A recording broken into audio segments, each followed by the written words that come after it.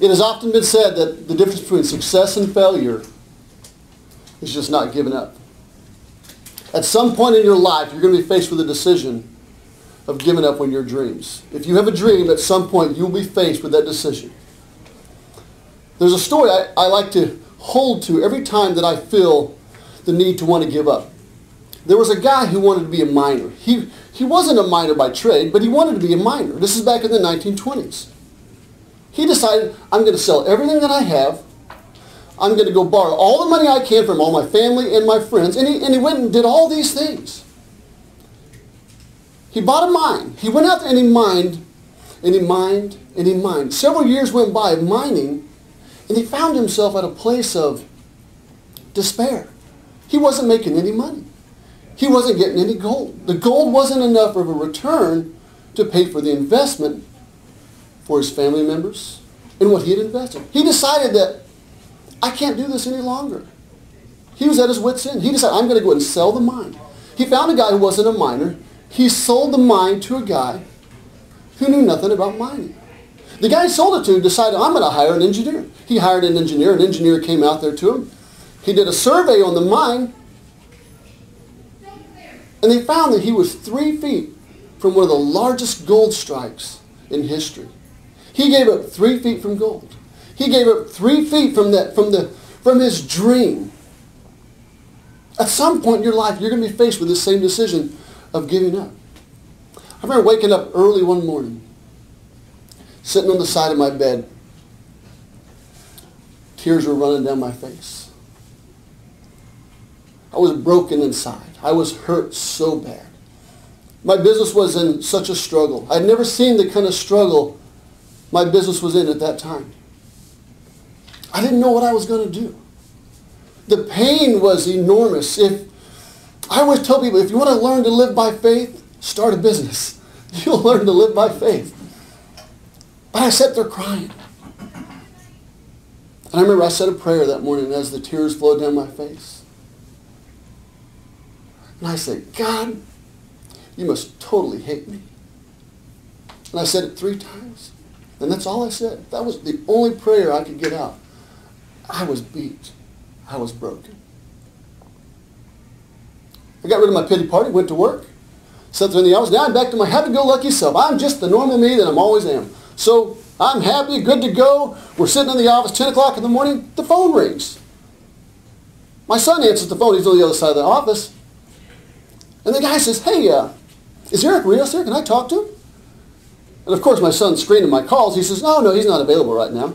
And the guy goes, well, can you just tell him that God told me to call him? So my son's sitting there with total curiosity going on. He's like, let me just put you in hold for a second. He goes, Dad, Dad, Dad, there's some crazy guy on the phone who said God told him to call you. And I'm thinking to myself, okay, we've had a lot of crazy people call our office, but this is probably going to be the craziest. I got to talk to this guy no matter what. I'm a skeptic. Now, the morning had gone away. That's all gone. Now I'm back to where I'm feeling powerful, feeling you're happy. I get on the phone with the guy. I said, uh, thank you for calling this, Eric. How can I help you? And the guy says, you don't know me, and I don't know you. I'm 65 years old. I have nothing to lose from this conversation with you. He said, God told me to call you. I said, okay, I'll entertain what you have to say. I'm a skeptic. I'll listen to what you have to say. Said, I'm thinking this dude's crazy is what I'm thinking. The guy goes, look. I said, no, no, hold on a second. Hold on a second. First of all, how did you get my name? How do you even know who I am? How did you get my number? He goes, you know what? It's good that you asked that. He said, I'm sitting here and I'm praying.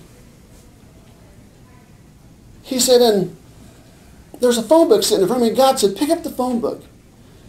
And I want you to open it. And I want you to put your finger, just put your finger down. And wherever you put your finger, that's who I want you to call. So I'm listening. You know, this guy still, he's crazy, a little crazy. He said, I opened the phone book and I put my finger down on your face, which had your phone number under it. He said, God told me to call you. Now the guy's got my attention. Tears begin to run down my face. The brokenness began to come back. I didn't want to face that pain. He said, God wanted me to tell you this. Everything's going to work out okay. Just trust in what I'm going to do in your life. You see, that day, I needed some hope. I needed a lot of hope. I was so broken. I was so down. I was at the point of, am I going to close my business? I mean, just things were just going south. If you've never owned a business, the feeling is something like you've never imagined, that pressure that you constantly feel. But at some point in your own life, you're going to be faced with a decision to give up on your dreams. Every single one of you have a dream.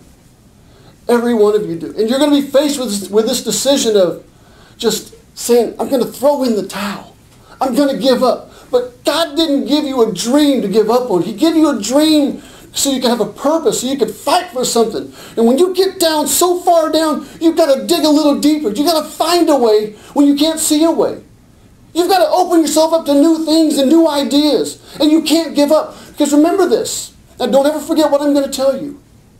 The day you decide to give up on your dream is the day that you just might be three feet from gold.